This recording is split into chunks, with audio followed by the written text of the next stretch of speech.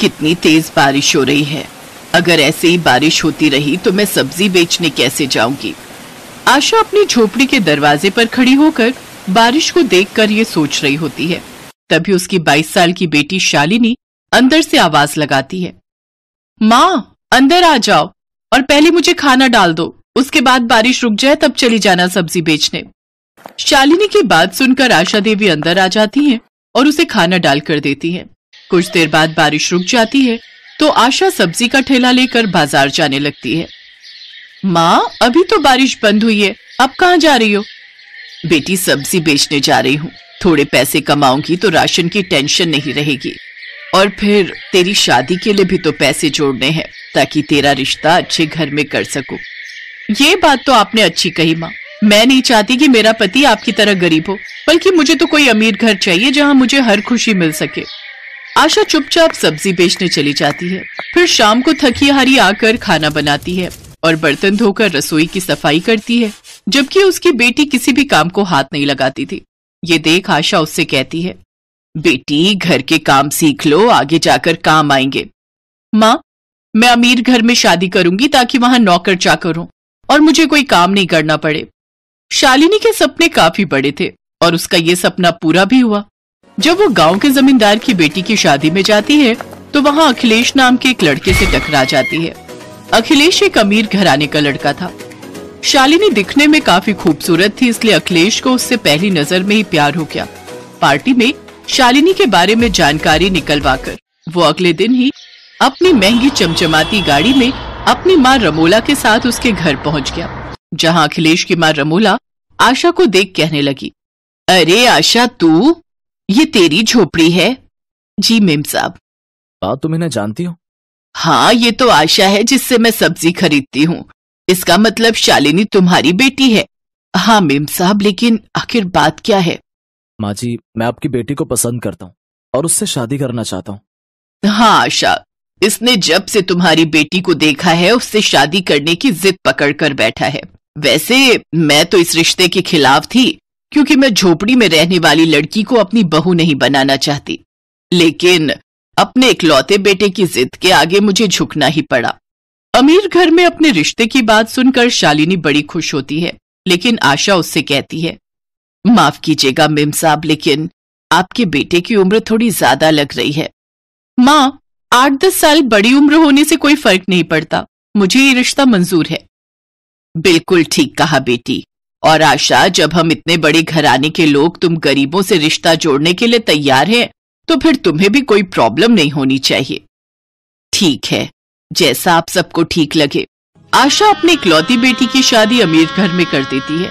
अमीर घर में आकर शालिनी अब अमीरों वाले तौर तरीके सीख लेती है।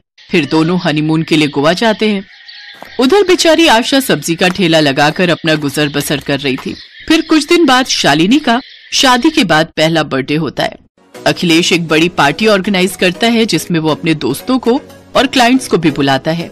जन्मदिन में आशा भी अपनी बेटी को बधाई देने के लिए आती है। बेटी, मैं तुम्हारे लिए ये गाजर का हलवा बनाकर लाई हूँ। जन्मदिन बहुत मुबारक हो।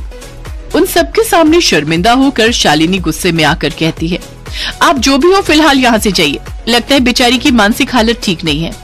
मेरी तो केवल एक ही माँ है और वो मेरी सासू माँ रमोला है। आशा रोते हुए घर लौट आती है। मेरी बेटी, अब इतनी अमीर हो गई कि अपनी गरीब माँ को भूल ही गई। छोटी सी थी जब उसके पिताजी उसे छोड़कर इस दुनिया से चले गए थे।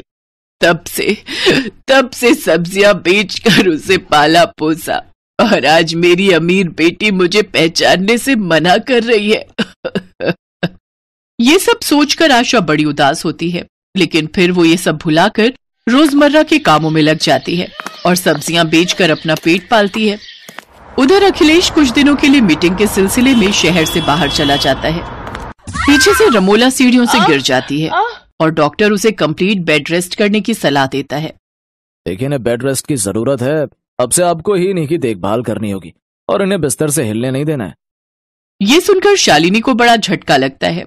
क्योंकि उसकी कामवाली तो पहले ही छुट्टी पर गई हुई थी। और अखिलेश भी बाहर था। छी, मुझसे तो इस बुढ़िया की देखभाल नहीं होगी।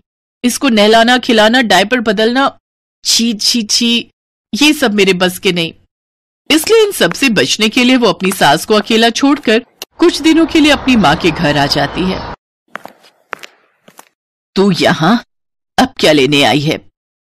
ओफो माँ, तुम अभी तक गुस्सा हो। वो पार्टी कोई मामूली पार्टी नहीं थी। उस पार्टी में कई बड़े बिजनेसमैन आए हुए थे, जिन्होंने अखिलेश जी को बड़े कॉन्ट्रैक्ट देने थे। इसलिए मुझे वो सब ड्रामा करना पड़ा। ये सुनकर आशा देवी को थोड़ी तसल्ली हुई। फिर उसने शालिनी से कहा, ओह अच्छा लेकिन तुम अचानक से यहाँ सब ठीक तो है ना? शालिनी उसे सारी बात बताती है। तुझे शर्म नहीं आई? अपनी सास को इस हालत में अकेला छोड़कर आ गई। खैर, मैं ये कैसे भूल सकती हूँ? जब जन्म देने वाली माँ की तू सगी नहीं हुई तो उनकी क्या होगी? ये कहकर आशा रमोला के घर चली जाती है, जहाँ वो देखती है कि रमोला बुखार से तप रही है। आशा उसके सर पर पट्टियाँ करती है और उसके लिए खिचड़ी दलिया बनाती है। अब कुछ दिन तक वो उसके घर पर ही रुकती है और उसकी खूब देखभाल करती है। उसे स्पंज करना, उसके डायपर बदलना, सब काम वही करती है। हफ़्ते भर के अंदर ही रमोला पूरी तरह से ठीक हो जाती है। आशा को अपनी सेवा करते देख रमोला भी बहुत खुश होती है। अब वो दोनों साथ में बातें करती, खाना खाती और अपना हर सुख दुख बांटती। अब दोनों सहेली की तरह रहती। एक रोज, आशा, तुमने जो मेरे लिए किया है ना, वो कोई नहीं कर सकता। मेरी बहू ने मुझे अकेला छोड़ दिया, लेकिन समधन होकर भी तुमने मेरी कितनी देखभाल की है। अब से तुम मेरी समधन नहीं, बल्कि मेरी सहेली हो। फिर अखिलेश घर वापस आता है तो उसे सारी बात पता चल जाती है। उधर रमोला के ठीक होते ही शालिनी भी वापस आ जाती है। लेकिन अखिलेश शालिनी को खूब सुनाता है। निकल जा तू मेरे घर से। अब क्या करने आई है यहाँ? मेरी माँ को ऐसी हालत में छोड़कर तुम चली गई। मुझे तुम जैसी पत्नी की कोई ज़रूरत नहीं है। नहीं नहीं मुझे ऐसी सजा मत दो। मुझे माफ़ कर दो। अब मुझे अपनी गलती का एहसास हो गया है। माँ जी सासू माँ आप भी मुझे माफ़ कर दो। शालिनी को अपनी गलती का एहसास हो जाता है। और वो सबसे माफ़ी मांगती है। फिर सब उसे माफ़ कर देते हैं। लेकिन इन कुछ दिनों में आशा रमोला की अच्छी सहेली बन जाती है और जब आशा अपने घर जाने लगती है तो रमोला उससे कहती है, आशा, अब तुम कहीं नहीं जाओगी। तुम अब यहीं हमारे साथ रहोगी। लेकिन भला मैं अपनी समधन के घर कैसे रुक सकती हूँ? समधन के घर ना सही, अपनी सहेली के घर तो रुक सकती हो ना? आज से हम समधन बाद में लेकिन सहेली पहले है। और इस तरह एक गरीब समधन अपनी अमीर समधन की सहेली बन जाती है। अब वो सब एक ही घर में एक साथ खुशी खुशी रहने लगती हैं।